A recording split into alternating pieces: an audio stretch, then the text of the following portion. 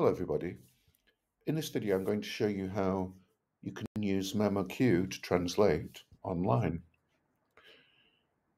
Up to now we've used uh, MemoQ in its desktop version and MemoQ Translator Pro.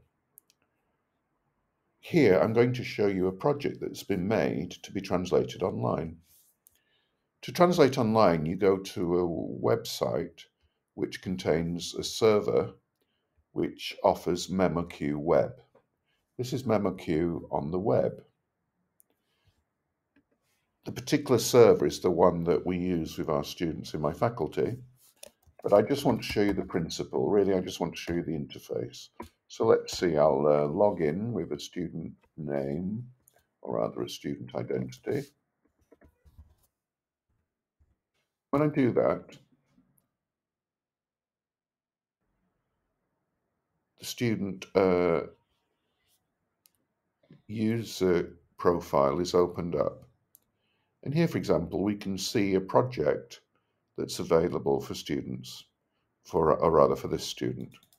If I click, we can see that this student has um, a translation and a review to do.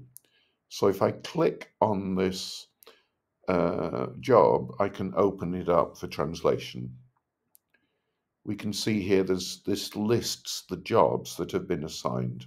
And in this case, they can either be reviewing or translating. So I come to a job I'm concerned with and I just click to open it up. And after a few seconds, the uh, interface will open up. This basically is what MemoQ looks like online. This is available as part of the Project Manager version of Trados or the MemoQ um, cloud server. And I think it's a pity because many people do not see this if they're just familiar with the Translator Pro. So this is the interface. I'll just make it a little bit bigger. So, for example, if we translate this um,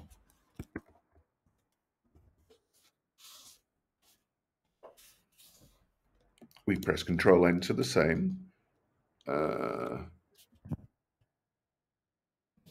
now, I've done some, sim my students have done some similar translations, so we can, uh, we'll just translate another segment.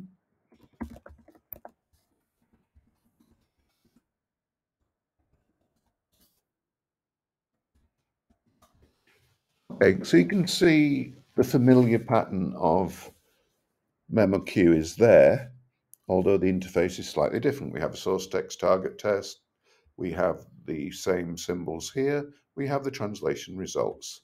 So if I come back up to here, we can see actually uh, we've got quite a lot of uh, text here.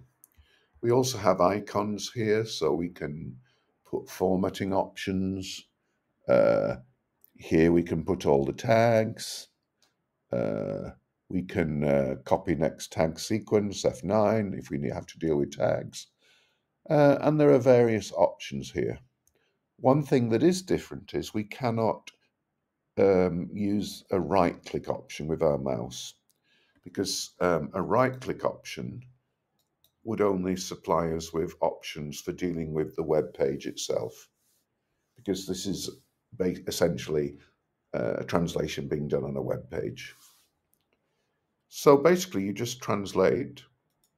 And if you notice up here, you have your page which you use to log in, and we clicked on this to open the translation, and then the translation actually opens in a new page.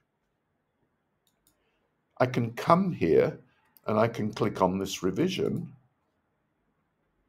and it will open up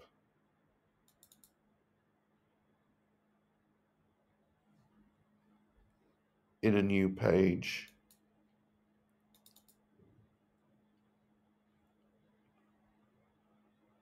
Except the notice I'm not allowed to do this because the translator has not finished and this project has been set up so I can't um, re revise it until the translation's finished. Anyway, I just wanted to show you essentially this is the interface. Um, and thank you very much for listening to this video.